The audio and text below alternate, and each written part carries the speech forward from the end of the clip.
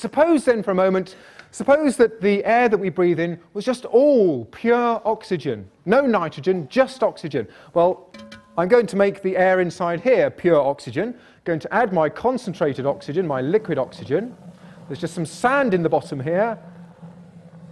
Okay, so now there's lots and lots of oxygen in there. And imagine you were in here, or you visited a planet where the only um, gas in the atmosphere was oxygen. So here we have a little man. Well, this isn't obviously a real man, but it's made of meat. It's a, a little sausage man. okay. Now, supposing then on your foreign planet where the atmosphere was just oxygen, suppose that you accidentally leant onto um, uh, the, the, hot plate of a cooker, for instance. Well, let's see what happens. We just added, oops, we just added uh, a hot wire here, and his leg seems to have caught fire. Okay, and he seems to be burning. Well, this is like spontaneous human combustion here. Okay, just accidentally leant on a bit of a fire, and he's gone up.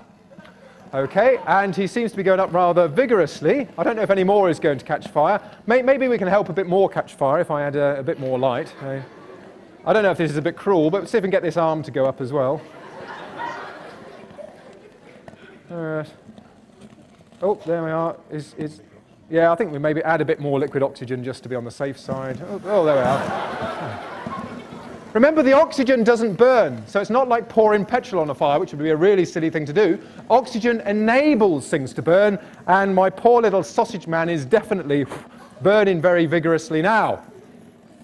So, the point is, it would not be a good thing to go to a planet where the only gas is oxygen, because everything is going to be much more flammable. In fact, it's been calculated that if our atmosphere changed by about uh, the amount of oxygen by about 10%, so if there was 30% oxygen, every time there was a forest fire, we wouldn't be able to put it out, and this would use up all the oxygen and cause for more carbon dioxide, and actually life probably wouldn't be able to exist if there was initially more oxygen. Okay, so it's a good thing that there's a lot of nitrogen that stops things from burning. I think I need to try and put him out before we all have lots of sausage smells burning and make everyone hungry. I'll put him out with some tomato ketchup. Okay.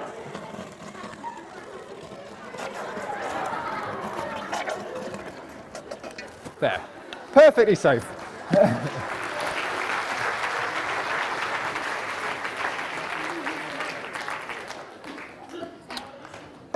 Okay, so nitrogen. Nitrogen is very unreactive.